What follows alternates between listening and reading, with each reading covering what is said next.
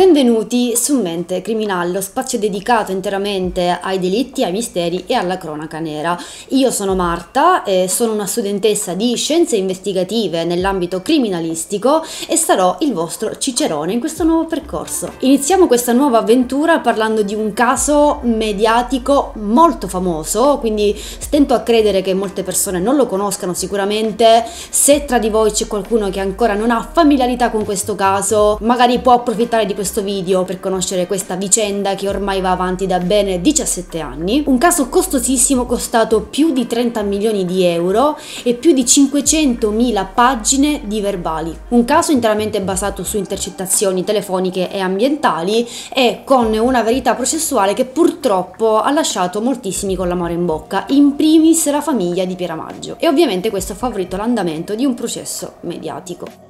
Un caso che sicuramente è tornato a far parlare di sé eh, recentemente, ecco, con una vicenda russa, eh, una ragazza appunto di nome Olesia Rostova che ha fatto la sua apparizione in tv in Russia con l'intento di eh, ritrovare la sua famiglia d'origine, dal momento che era stata sottratta quando era molto piccola. Eh, la sua storia chiaramente è sembrata molto simile a quella che purtroppo è stato l'epilogo della piccola Denise Denise Pipitone che è scomparsa il primo settembre del 2004 da Mazzara del Vallo e chiaramente queste similitudini hanno subito richiamato l'attenzione non soltanto dei media italiani ma anche appunto della famiglia e dell'avvocato eh, di Pieramaggio. Era appunto maggio scorso quando si è fatto avanti questo teatrino russo che si è concluso poi con i risultati del DNA di cui è stata protagonista indiscussa una molto improbabile Denise.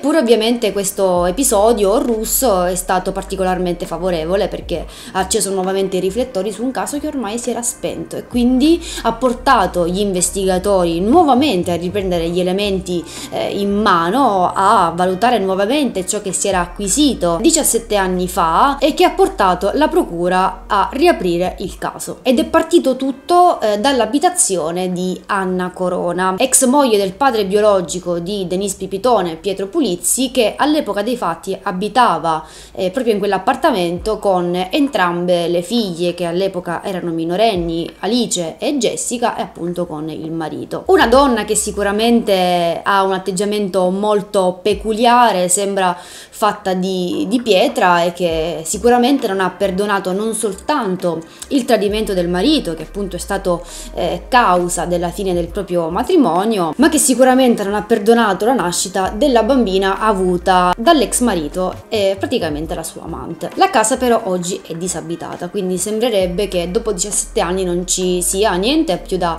ricercare, però eh, comunque le prime indagini sono proprio partite da lì. E allora che cosa si cerca dopo 17 anni?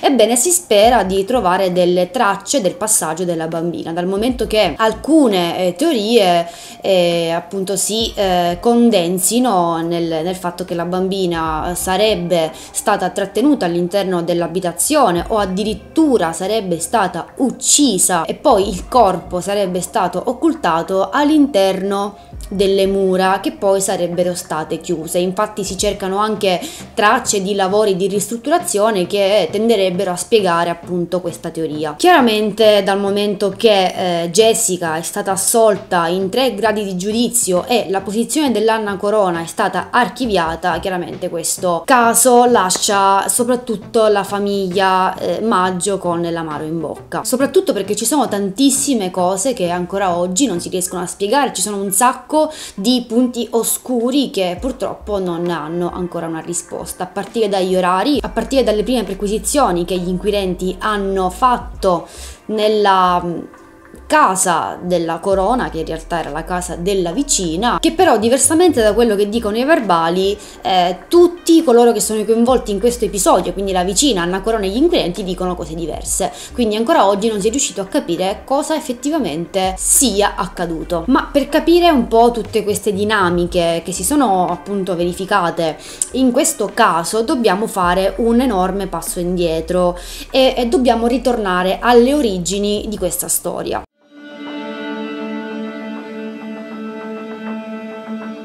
Partiamo dalla vicenda. Siamo a Mazzola del Vallo, una piccola cittadina di 50.000 abitanti in Sicilia, in provincia di Trapani. Il teatro, diciamo, che si prospetta davanti a noi è una eh, normalissima mattinata di settembre dove appunto i bambini escono per strada a giocare col pallone, le bambine eh, si rincorrono, giocano a nascondino, le nonne preparano il pranzo, i genitori vanno al lavoro, insomma tutto fila liscio. La bimba vive con la mamma Piera Maggio, il papà Antonino Pipitone, che in realtà poi si scoprirà soltanto in seguito alla scomparsa della bambina, che non è il padre biologico, il fratellino Kevin, che invece è figlio della coppia, e tutti e quattro insieme vivono in una palazzina in cui al di sotto stanno i nonni materni, Francesca e Vito, e accanto, sempre nello stesso piano della famiglia Pipitone, abitano praticamente gli zii di Denise, ovvero la sorella della mamma di Denise con la sua famiglia. Quella mattina alle 8.30 eh, Piera Maggio, la mamma di Denise, esce di casa perché doveva andare a frequentare un corso di informatica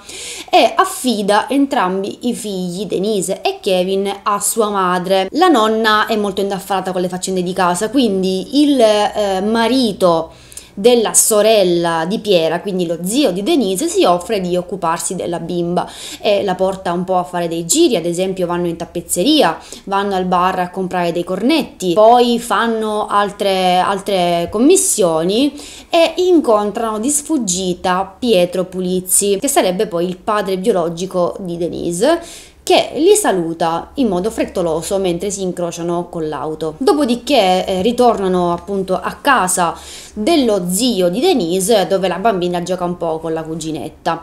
Poi verso le 11 eh, la nonna eh, sale su nel terrazzo per rassettare un po' i giochini di Denise e poi scende giù. Al piano terra c'è un garage che praticamente eh, fa da ambiente eh, in cui la famiglia si riunisce per pranzare, per per cenare insieme, quindi è appunto un ambiente di ritrovo della famiglia e comincia a preparare il pranzo. Nel frattempo Denise è fuori in strada a giocare con degli amici e dei cuginetti e tra questi cuginetti c'è appunto un cuginetto di 6 anni che si chiama Salvatore che non appena finisce di giocare eh, con Denise si avvia verso casa. Ecco, badate bene che la casa di questo, di questo cuginetto è immediatamente dopo la curva che c'è dove c'è la via dove abita Denise, quindi è vicinissimo. Il cuginetto entra dal cancelletto e se lo chiude alle spalle, lasciando appunto la bambina in strada. La mamma assiste alla scena, ma non si cura di vedere se Denise è accompagnata o è da sola, perché crede che la bambina sia accompagnata da un adulto o comunque da altri amichetti e quindi non si cura assolutamente di controllare se la bambina eh, fosse in pericolo oppure se, se fosse accompagnata. Senza neanche saperlo, si chiude alle spalle la porta e proprio la zia sarà l'ultima persona a vedere Denise prima che scompaia. Da lì la bambina scomparirà e non ci saranno più tracce. L'epoca della scomparsa è un po' borderline, nel senso che eh, si attribuisce all'incirca alle 11.45 e 11.48, ma in realtà ci sarebbero anche delle, dei dubbi da questo punto di vista, alcuni dicono 11.37. Fatto sta che la nonna dopo un po' di tempo, intorno alle 11.40 si accorge che la bimba non, non c'è perché la chiama per eh, farla rientrare perché il pranzo è pronto. Va a cercarla nell'abitazione di Francesca Giglio che è appunto la mamma del cuginetto Salvatore, il bambino con il quale Denise stava giocando ma purtroppo la bambina non c'è. Allora torna in garage a piano terra e nel frattempo rientra Antonino Pipitone. Sono le 12.30 quando scatta l'allarme per la scomparsa della bambina e a chiamare appunto il centralino delle forze dell'ordine è Antonino Galici, lo zio della bimba, quello che l'aveva portata a fare dei giri. Viene così allertato anche il telegiornale locale che comincia a diffondere la notizia e comincia a diffondere anche le prime foto e immediatamente già Giacomo Maggio allerta, indovinate chi?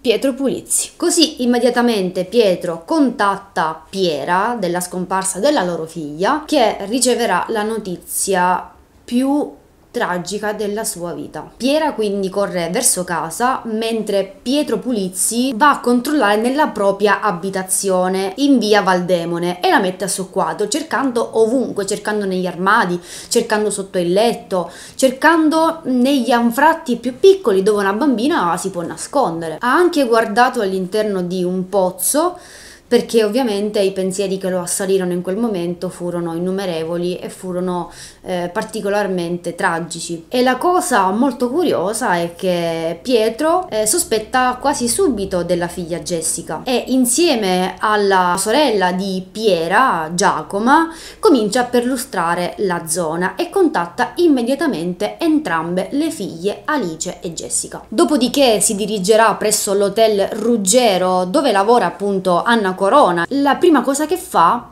non è andare dalla moglie che sta lavorando, ma è mettere una mano sopra il cofano della sua auto per vedere se è calda. Ovviamente questo per capire se l'auto è stata presa, ma l'auto è fredda, quindi vuol dire che da lì eh, l'autovettura non, non, si è mossa durante la mattinata. Quindi si muove con un amico lungo le strade di Mazzara alla ricerca disperata eh, della piccola Denise, ma purtroppo quando poi eh, rientrerà davanti la, la palazzina della famiglia Pipitone, vedrà tutte le forze dell'ordine che sono sopraggiunte sul posto per dare il via alla prassi investigativa. Ovviamente il primo nome che esce fuori immediatamente dalla bocca di Piera Maggio è proprio il nome di Anna Corona, che spiegò subito agli inquirenti i suoi sospetti e ovviamente da lì venne fuori il suo rapporto extraconiugale che intratteneva da molto tempo con Pietro Pulizzi, il padre biologico appunto di Denise Pipitone. E quindi da lì eh, il marito che all'epoca eh, era appunto Antonino Pipitone scoprirà che sua figlia non è in realtà sua figlia. I primi sospetti di Piera che vengono subito comunicati alle autorità ricadono su Anna Corona proprio perché la donna sicuramente non ha perdonato il tradimento che eh, il marito ha posto in essere nei suoi confronti, ovviamente eh, ancor meno ha perdonato il fatto che da questa coppia, da questa relazione extraconiugale sia addirittura nata una figlia. Anche Jessica Pulizzi, eh, una delle due figlie eh, della coppia Anna Corona Pietro Pulizzi, è stata sottoposta a indagini indagini è stata processata e poi assolta nei tre gradi di giudizio, quindi anche sulla posizione della ragazza comunque si sono svolte delle, delle indagini, mentre sulla posizione di Anna Corona invece si è richiesta l'archiviazione. Ora l'archiviazione è una posizione che si può tranquillamente riaprire, quindi non è una posizione definitiva, mentre quando eh, si viene assolti nei tre gradi di giudizio non si può essere nuovamente eh, indagati per lo stesso reato reato, quindi chiaramente eh, per Jessica ovviamente questa, questa vicenda eh, è conclusa, mentre ancora si ci può muovere nei confronti di Anna Corona. Ovviamente dovrebbero sorgere degli indizi che portano a lei. Che cosa c'entrerebbe Jessica? Beh, Jessica sarebbe colei che ha eh, messo in atto la sottrazione della bimba, che materialmente l'avrebbe attesa eh, all'angolo, l'avrebbe sottratta proprio mentre la bambina stava ritornando a casa dopo aver praticamente lasciato il cuginetto a casa sua. E secondo i giudici che hanno sottoposto la Jessica alle indagini, questa decisione che la ragazza avrebbe preso di sottrarre la minore sia stata fatta senza premeditazione, quindi sia stata fatta così eh, in un momento di rabbia, di confusione, che quindi avrebbe portato la ragazza a, a prendere la bambina, in un momento in cui Denise era da sola. Il movente sarebbe che eh, la ragazza ce l'avrebbe a morte col padre perché eh, lui dedicava molte attenzioni a Denise, eh, comprava dei vestiti a Denise, dedicava dedicava molto affetto a questa bimba e a detta di, eh, delle, delle, figlie avute dal precedente matrimonio con l'Anna Corona eh, invece non riservasse lo stesso affetto e le stesse attenzioni e quindi il movente di Jessica ecco, sarebbe proprio questo che lei fosse arrabbiata con il padre proprio ecco, per queste dinamiche non soltanto matrimoniali che si erano avute con la madre ma anche per questo rapporto padre-figlia che si è sgretolato. Come Come se non bastasse, Piera eh, segnala subito agli inquirenti che eh, sospetta dell'Anna Corona perché ci sono stati degli episodi in realtà che si sono verificati mesi prima che la bambina sparisse, ovvero l'incendio all'erboristeria della sorella Giacomo Maggio e continui sfregi, eh, tra cui appunto delle ruote squarciate, alla macchina di Piera. Dopo il rapimento della bambina vengono subito condotte delle indagini dapprima cominciando dall'abitazione di Anna Corona. E si parte proprio dall'abitazione di quest'ultima dove praticamente appunto gli inquirenti avrebbero eh, affermato poi nei verbali che avrebbero eh, perlustrato l'abitazione di Anna Corona. Quando invece la vicina di casa avrebbe detto che gli inquirenti avendo visto Anna Corona nell'androne del palazzo che stava chiacchierando con la sua vicina di casa che appunto abita al, al piano terra la Corona li avrebbe invitati ad accomodarsi all'interno dell'abitazione senza specificare però che quell'abitazione non fosse sua. Ovviamente la Corona dice che gli inquirenti sapevano perfettamente che quell'abitazione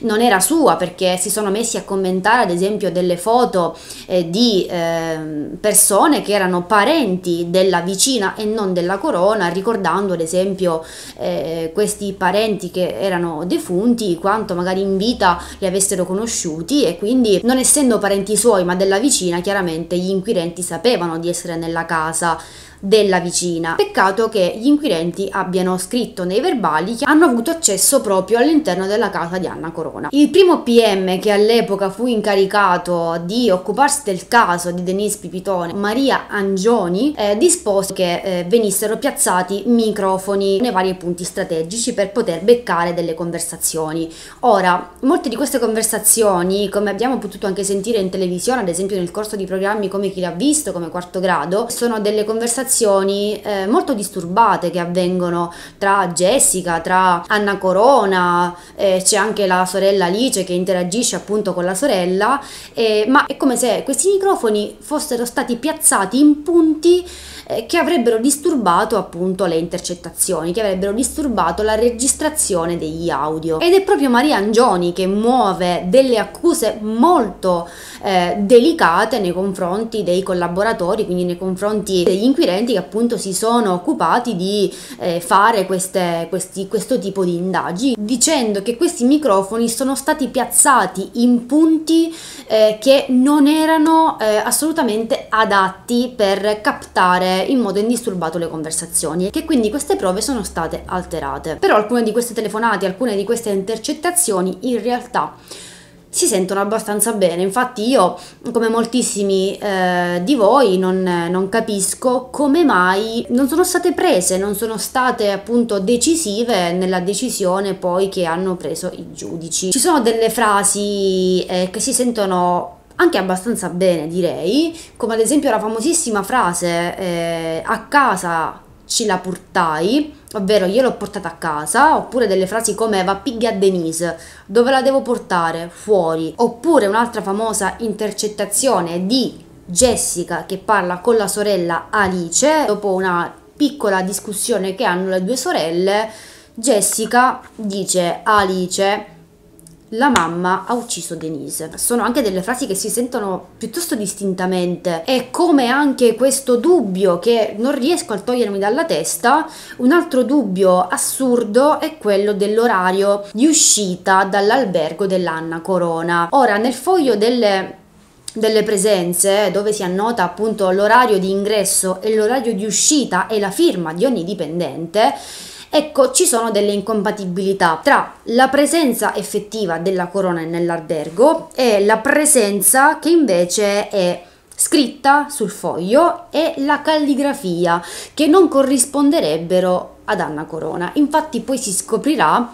che è opera di una collega di lavoro, ossia la Francesca Adamo, che altro non è che una collega che a detta sua avrebbe fatto un favore inserendo dapprima l'orario, perché lei quando fu chiamata appunto a testimoniare disse che lei aveva messo l'orario facendo un favore ad una collega, ma che comunque era uscita ugualmente allo stesso orario. In quel momento la corona ha chiesto cortesemente alla collega di scrivere l'orario, ma magari la corona sarà uscita 5-10 minuti prima. Poi invece in seguito ha dichiarato ai microfoni di storie italiane che lei avrebbe messo la firma. In tutto questo, il 18 ottobre arriva una segnalazione. Ecco, arriva una segnalazione di una guardia giurata, eh, ovvero Felice Grieco, che durante il suo turno di lavoro eh, davanti, credo se non mi ricordo male, una banca dove lui lavora come guardia, appunto come sorvegliante, gli sembra di vedere una bambina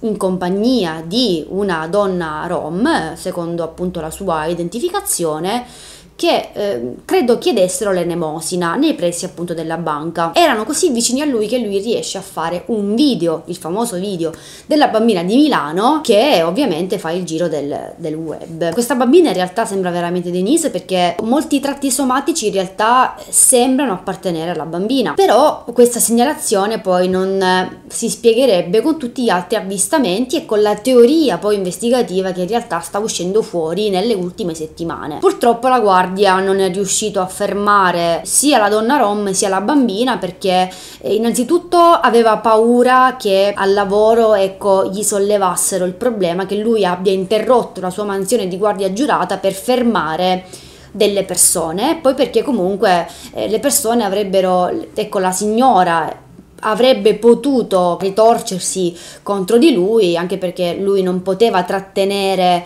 delle persone che in realtà non avevano fatto niente. Ecco, per trattenere qualcuno comunque devi avere eh, qualcosa che ti permette di poter fermare una persona, non puoi eh, trattenere un civile innocente. Non voglio neanche pensare ai sensi di colpa che deve avere quest'uomo per non aver fermato questa probabile Denise, che a mio avviso è veramente eh, di una somiglianza assurda, perché veramente mi sembra lei, ma ehm, ci sono sempre un po' di dubbi. Anche la voce della bimba che si può distintamente sentire dire eh, nel video è molto simile a quella di Denise.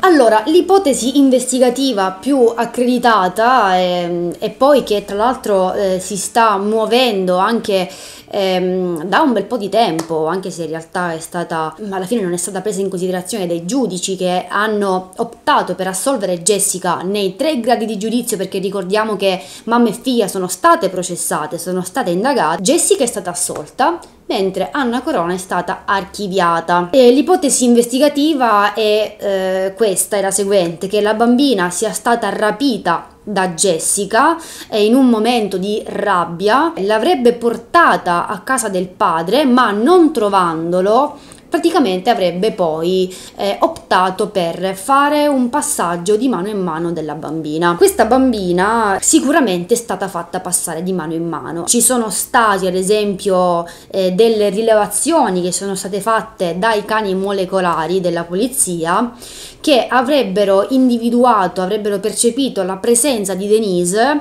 nei pressi della casa della sorella di Gaspare Galeb, che all'epoca era il fidanzatino della Jessica, che tra l'altro è distante solo pochi metri dall'abitazione di Pieramaggio e della sua famiglia. Quindi subito si apre la pista della vendetta familiare che poi però sfocia nel percorso rom, quindi praticamente eh, la Jessica avrebbe sottratto la bambina e poi di mano in mano sarebbe finita la bimba nelle mani di una comunità rom che l'avrebbe fatta sparire, che se la sarebbe portata e quant'altro. Sono state prese in considerazione anche delle altre testimonianze che in realtà per me sono anche abbastanza ecco lungimiranti. Una di queste è appunto quella del signor Battista della Chiave che è un signore eh, sordomuto che praticamente nel 2013 spiegò più volte attraverso un linguaggio tutto suo in realtà perché lui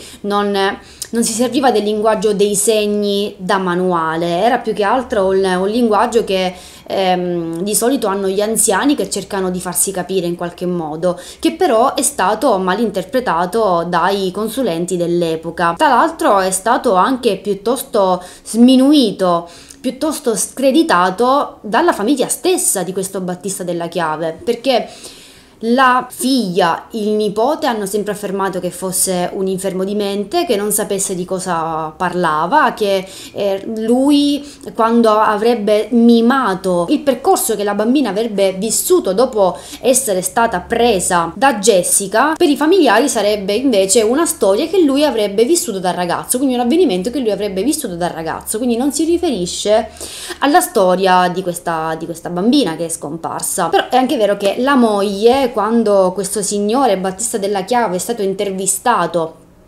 da non mi ricordo quale programma, la moglie è uscita dall'abitazione gridando mi stai mettendo ali guai, ali guai, mi stai mettendo ali guai, che significa mi stai mettendo nella, nella cacca praticamente. Se parli ancora qua mi metti nei guai. Ora perché questa reazione così esagerata della moglie di Battista della chiave? Perché la signora avrebbe dovuto avere una reazione così violenta nei confronti del marito? Cos'è che avrebbe dovuto omettere il marito? Cioè, cos'è che effettivamente non doveva dire? Ecco, questa cosa mi suona molto molto strana. Battista della Chiave fu anche invitato a deporre in tribunale, ovviamente raccontando quello che aveva visto, ma si avvalse della facoltà di non rispondere. Poco tempo fa è morto, quindi non ci potrà più raccontare la sua versione. Invece, a distanza di qualche anno, la sua testimonianza è stata ripresa ed è stata nuovamente sottoposta alla valutazione di nuovi esperti e secondo la mimica di questo Battista della Chiave in realtà sarebbe anche piuttosto chiara, quindi esperti avrebbero decifrato questo linguaggio e avrebbero costruito, in realtà avrebbero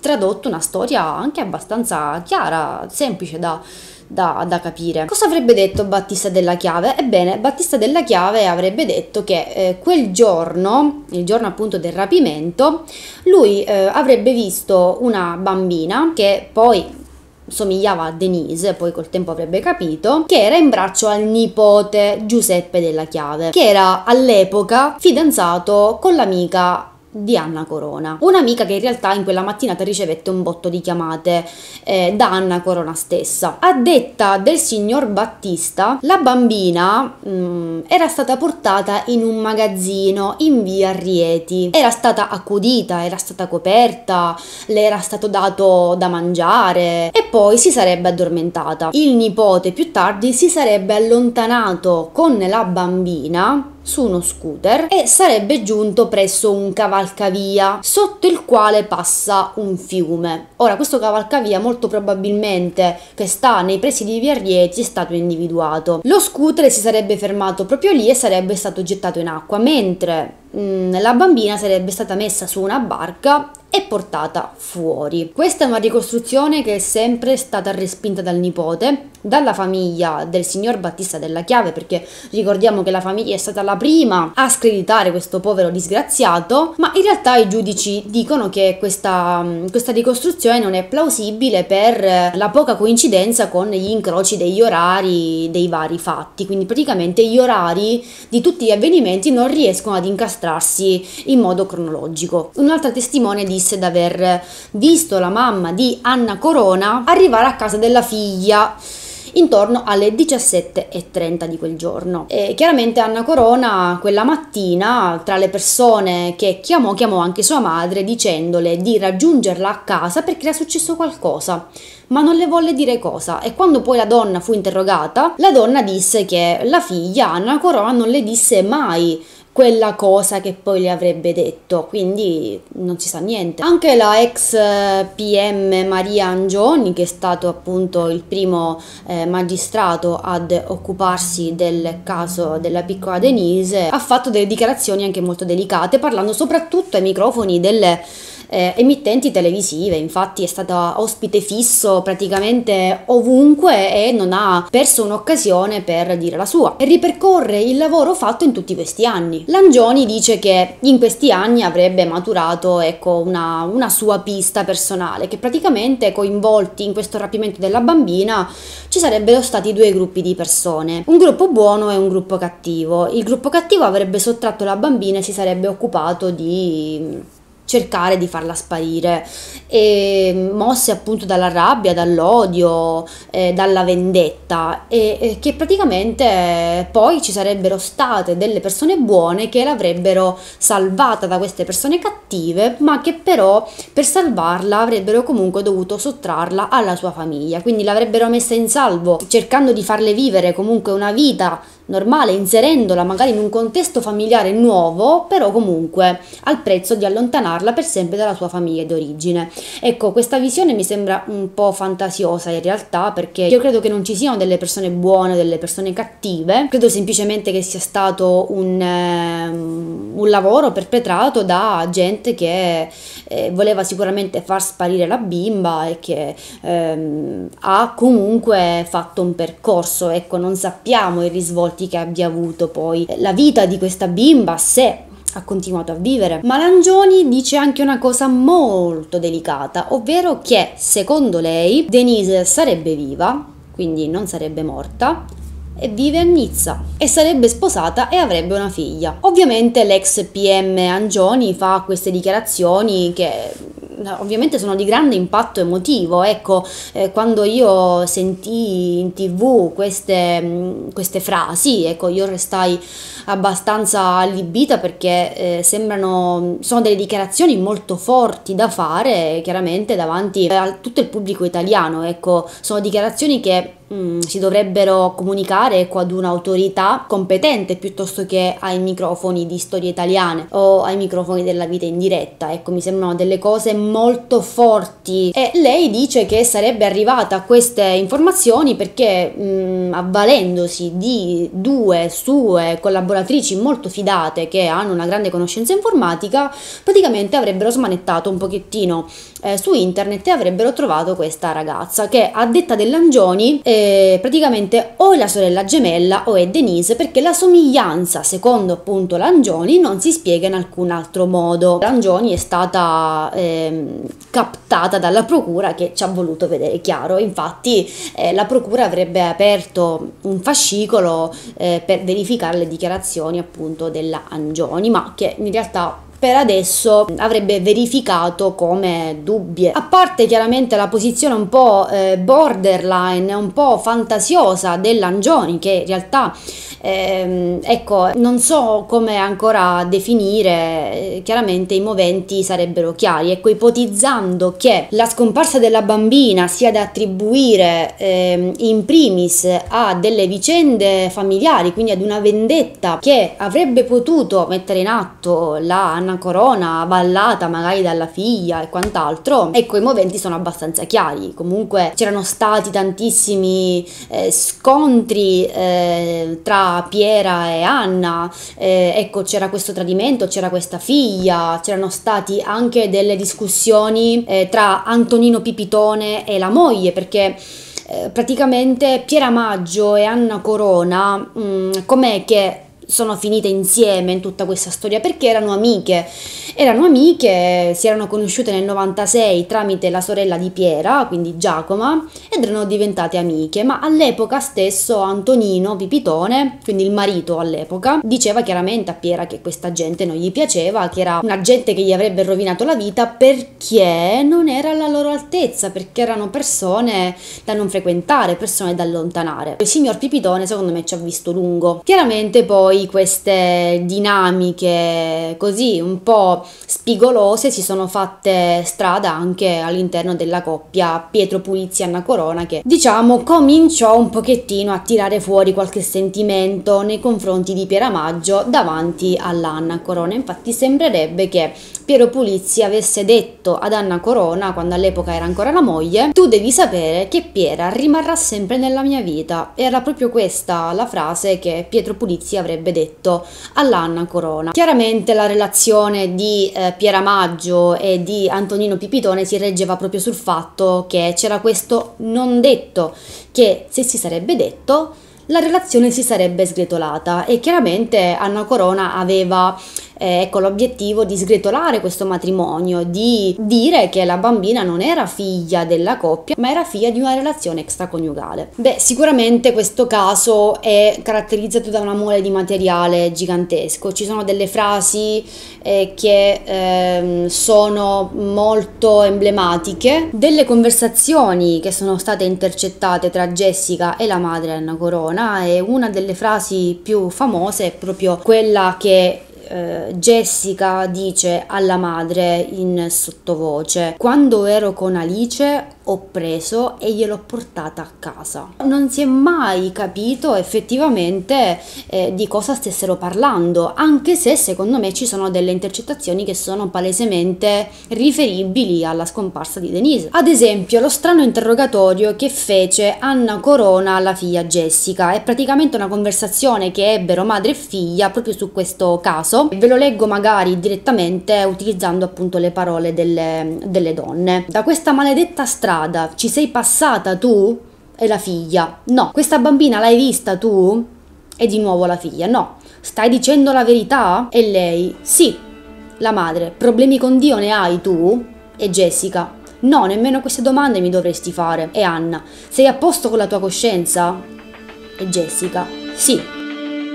Ovviamente è molto strano, cioè sembra quasi un interrogatorio costruito, come se eh, la madre avesse interrogato la figlia facendo capire a chi ascoltava che loro non c'entravano niente, che quindi è proprio stata la madre a sottoporre per prima eh, la figlia a questo interrogatorio per assicurarsi che la figlia stessa non c'entrasse niente. Un po' strano comunque. Anche la frase dell'11 ottobre che eh, Jessica sussurra in modo molto flebile alle orecchie della sorella che dice proprio eravamo a casa mamma l'ha uccisa a Denise. È una frase che è stata scandagliata dagli esperti. Alla luce di questa frase io ecco, mi trovo anche un po' in difficoltà a eh, assolvere una persona che eh, avrebbe eh, nominato questa, questa frase, ma essendo un audio disturbato non è stato ritenuto affidabile e Proprio questo è il punto. Molti audio, molte intercettazioni sono state ritenute disturbate proprio per questo non sono state tenute in considerazione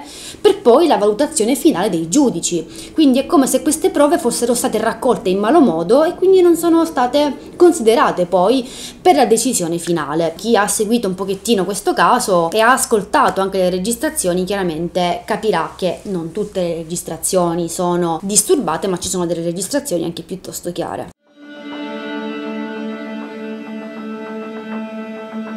Per non farci mancare niente arriva un altro protagonista nella nostra storia che ormai è diventata anche piuttosto lunga, Giuseppe Dassaro. Allora, Giuseppe Dassaro è un criminale che nel giugno 1985 uccise a colpi di bastone Antonio Signorelli di 75 anni per rapinarlo e poi praticamente il suo nome tornò alla ribalta nel 2010 quando si costituì per un omicidio per aver ucciso Sabine Maccarrone. Questo Giuseppe Dassaro, chi è? Giuseppe Dassaro praticamente è l'ex convivente o l'ex marito di Rosalba Pulizzi, la sorella di Pietro Pulizzi. Dichiarò che mh, quando la bambina sparì, lui era in carcere, però mh, ebbe un permesso premio e quindi ehm, in quell'occasione ha potuto rivedere l'ex moglie e si sono incontrati e hanno avuto una breve conversazione. La compagna eh, di allora Rosalba Pulizzi l'avrebbe aggiornato sulla scomparsa della bambina e avrebbe detto mia moglie mi disse che la bambina si trovava a Palermo e che l'aveva presa Jessica ma non mi disse chi l'aveva portata a Palermo. Quando glielo chiesi mi ha risposto mica posso rovinare a mio fratello. Vedevo che mia moglie aveva paura di parlare anche se poi mi avrebbe detto com'erano andate le cose però poi non mi disse mai nulla. Allora eh, il Dassaro continua. Sempre mia moglie nel 2003 mi aveva detto che suo fratello e Pieramaggio avevano una relazione e che Pietro le diceva lascia tuo marito e vieni con me altrimenti mi prendo la bambina. Ovviamente i rapporti con eh, la ex moglie o l'ex compagna si sono definitivamente rotti quando Dassaro ha fatto queste dichiarazioni. Ma eh, poi Giuseppe Dassaro avrebbe aggiunto nel 2007 tramite praticamente una dichiarazione che ha fatto queste parole. Avrebbe infatti detto: Denise è morta dopo la sottrazione di tranquillanti e poi sarebbe stata gettata in mare al largo di Palermo. Dopo che era stata rapita e prima di essere trasferita a Palermo in una casa in via Altarello, la bambina fu portata al ristorante Lo Squalo di Mazzara. Me lo disse la mia ex moglie Rosalba Pulizzi. Anche questa versione è stata scandagliata dagli inquirenti ma non ha trovato eh, riscontri.